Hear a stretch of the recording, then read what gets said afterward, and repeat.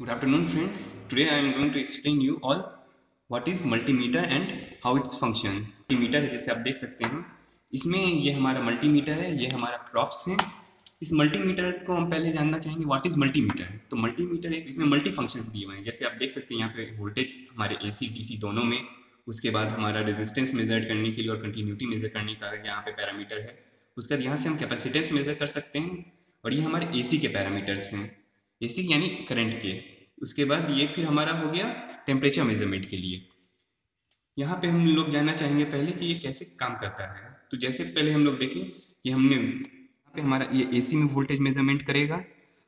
यहाँ पे देखिए आ रहा है वोल्टेज एसी उसके बाद जैसे ही हम इसको वोल्टेज डीसी में करते हैं, ये वोल्टेज डीसी में आ जाता है।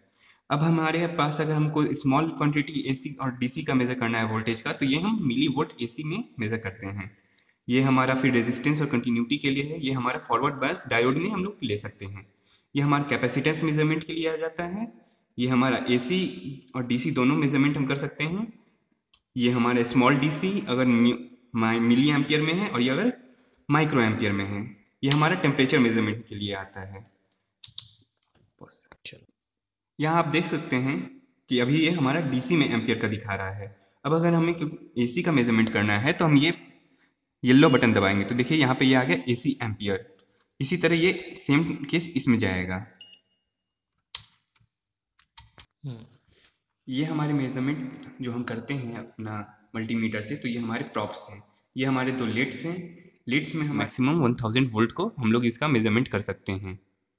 ओके फ्रेंड्स जैसा कि हम जानते हैं कि हमारी वोल्ट मीटर जो रहती है वो हमेशा आपको पैरेलली कनेक्टेड रहती है आइडियल वोल्ट मीटर और हमारे आइडियल वोल्टमीटर में जो हमारी रेजिस्टेंस रहती है, वो हमेशा हम इन्फिनिटी लेते हैं। ये क्यों लेते हैं?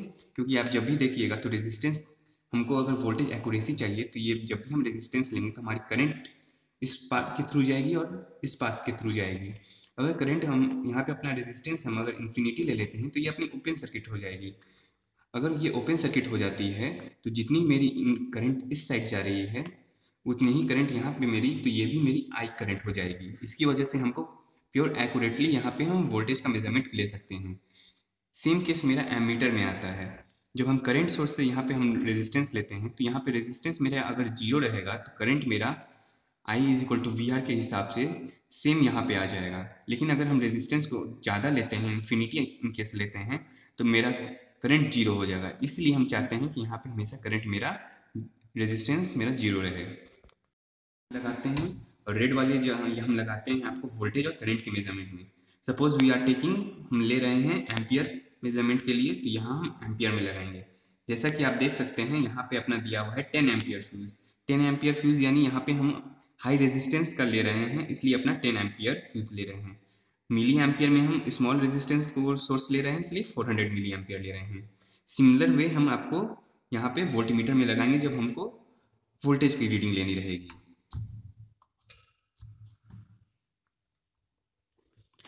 अब आइए हम इसकी इंटरनल सर्किट तो अब हम समझते हैं कि अंदर क्या फेनोमेना हो रहा है। ये हमारे डीसी वोल्टेज मेज़रमेंट के लिए लिया है।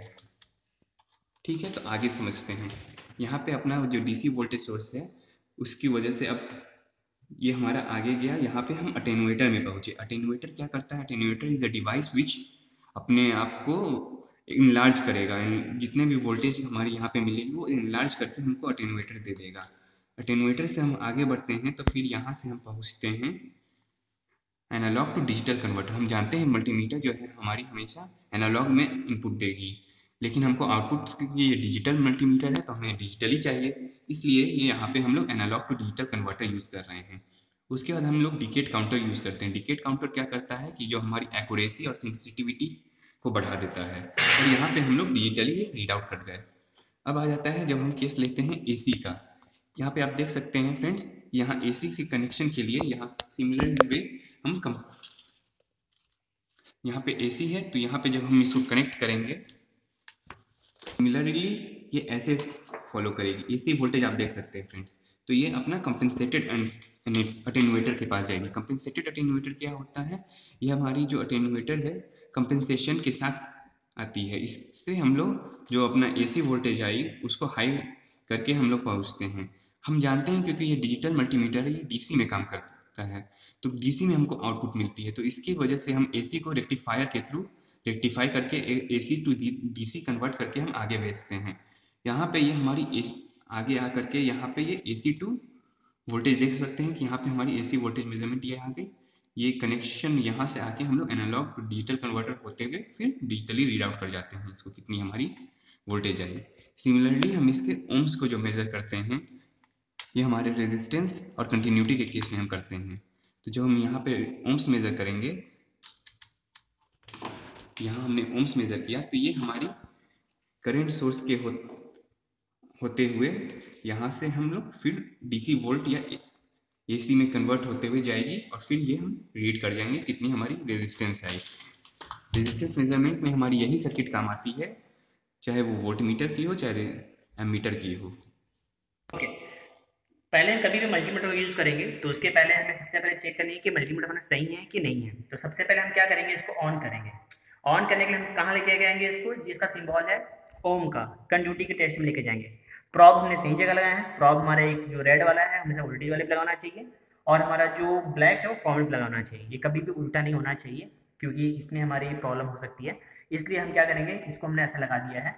अब हम क्या करेंगे, आप देख सकते हैं। इन दो लीड को हम टच किया टच करने के बाद, जैसे हम इसको टच कर रहे हैं, इसकी वैल्यू आपको दिख रही होगी। हम दोनों लीड को हमने टच किया है। देखिए, यहाँ पर जो वैल्यू दिख रही है पॉइंट फाइव ओम की मिल रही है। मतलब इन दोनों लीड के बीच का जो रेजिस्टेंस है पॉइंट वन के आसपास है। अब हमें कंडूटी चेक करने के हम क्या करेंगे? येलो बटन प्रेस करेंगे। और येलो पर ये बजर का सिंबल आ रहा है। जैसे हम इसको करेंगे, ये कंडूटी शो कर रही है। इसका मतलब है कि इनके बीच में कंडूटी है और हमारे मीटर भी कंटिन्यूसली ओके यूज़ कर रही है। अब हम चलते हैं, हम एसी सर्किट चेक करने के लिए। एसी सर्किट चेक करने के लिए, जैसे कि हमारी जो ड्राइंग है उसके हमने यहाँ एसी डाल दिया है, जैसे हम एसी डालेंगे। इस ड्राइंग के हिसाब से ये वाली ये वाली, इन दोनों कनेक्शन के बीच में एसी कनेक्ट होगा कंपनसेटर एडमिनिस्ट्रेशन के बीच में रेक्टिफायर जाएगा, यहाँ जाएगा, आगे एसी में जाएगा ए एडी कन्वर्टर सो के आगे आगे डिजिटल मल्टीमीटर दिखेगा। तो हम चलते हैं, हमारे पास, आप देख सकते हैं, हमारे पास ये सॉकेट है। हमारे पास सॉकेट है और इस पर सप्लाई आ रही नहीं आ रही हमें चेक करना है। क्योंकि ये सिंगल फ़ेज़ एसी है तो इस पर सप्लाई आनी चाहिए अगर ये चालू है तो। तो हम इसको ऑफ़ कर देते हैं, हम इसको बाहर निकाल देते हैं। जैसे हमने इसका बाहर निकाला है, क्योंकि ये आपका सेफ्टी पर्पज के लिए हम इसको आगे डाल दिए अब हम क्या करते हैं, हमने इसे प्रॉप को एसी पे सेलेक्ट करके रखा है। अब ये बटेट हमने यहाँ सेलेक्ट कर लिया है और हम इसको जब यहाँ डालते हैं, अब देख सकते हैं हम इसको, ये डाल रहे हैं इसको यहाँ से डाल दिया जैसे हम डालते हैं, उसके बाद यहाँ पर जो वैल्यू आ रही है आपकी, अभी भी ज़ीरो की वैल्यू आ रही है पॉइंट के बाद ज़ीरो की वैल्यू आ रही है, हम इसको ऑन करते हैं। जैसे हमने ऑन किया, ठीक है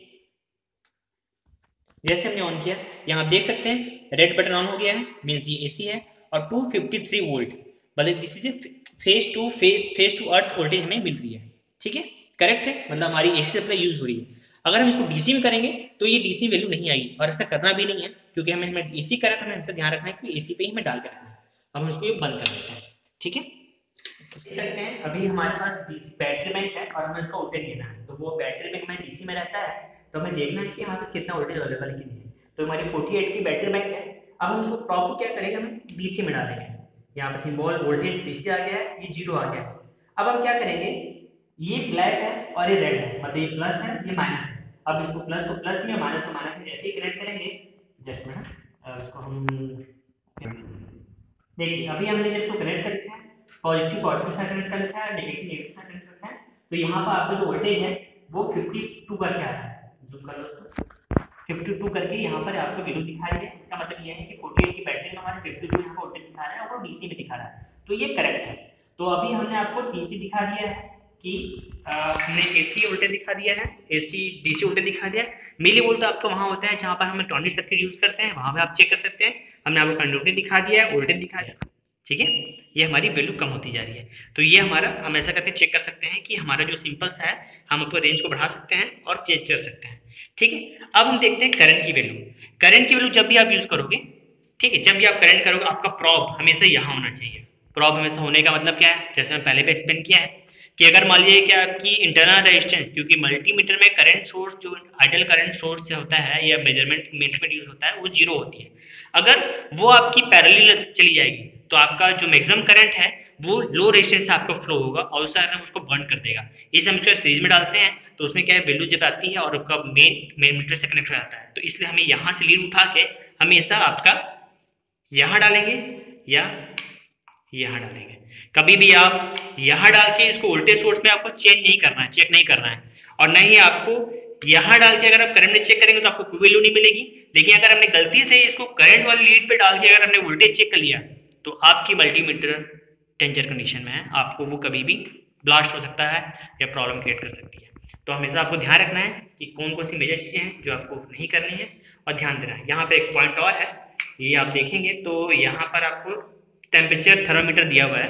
आप जब इसको आगे जाके करोगे तो ये आपको रूम का टेम्परेचर आपको सेंस करके दिखाएगा।